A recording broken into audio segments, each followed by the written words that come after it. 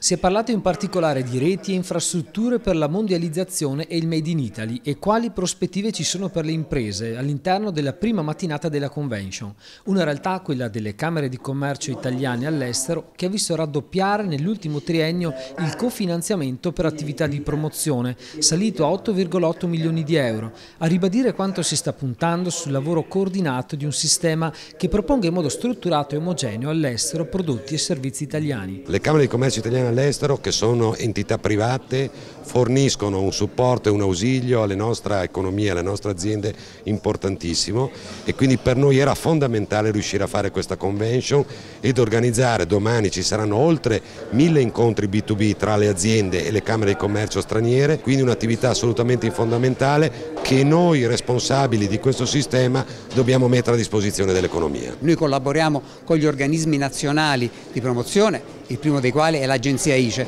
però portiamo un vantaggio aggiuntivo, quello di riuscire a fare in modo che un'impresa, una volta che ha raggiunto l'estero, riesca a rimanerci, perché siccome le Camere di Commercio italiane all'estero si trovano sul posto, hanno bisogno le imprese di trovare dei punti di riferimento continuativi. Noi siamo un punto di riferimento continuativo che dopo l'iniziativa, dopo la missione, dopo la fiera, aiuta l'impresa a rimanere, a fare accordi e collaborazioni, in altri termini a radicarsi sui mercati internazionali. Come ha ribadito il ministro Centinaio nel suo intervento, dobbiamo recuperare quella visione d'insieme aumentando il lavoro nei tavoli comuni, che ci può portare lontano, valorizzando il tricolore all'estero, aumentando le quote di presenza in mercati importanti. L'atteggiamento coeso è vincente ed altri paesi come la Germania ci insegnano, esportando cifre molto più alte come nell'agroalimentare, nonostante una produzione molto inferiore. Oggi le imprese non possono più esportare su un mercato, devono cercare di diversificarsi su più mercati. La potenzialità che le Camere offrono è proprio quella di una diversificazione plurimercato